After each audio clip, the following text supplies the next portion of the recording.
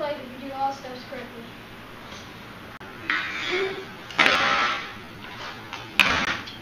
Step one is you need to be able to 180. So, yeah, you need to be able to have your 180s really clean. Step two, you also want very good bar spins.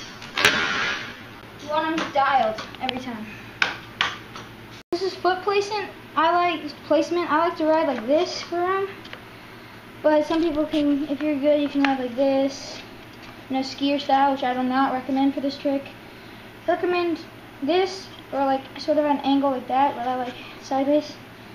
And then, yeah, for placement. So there's plenty of different ways to do it. The way I like to do it is at 180 and then bar spin catch.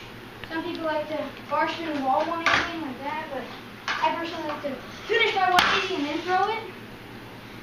I actually do it opposite. Like instead of most people like to throw the way that 180, and you're supposed to like that because spin right, it's easier to throw it. But I like spinning left for some reason. Whatever is easier for you.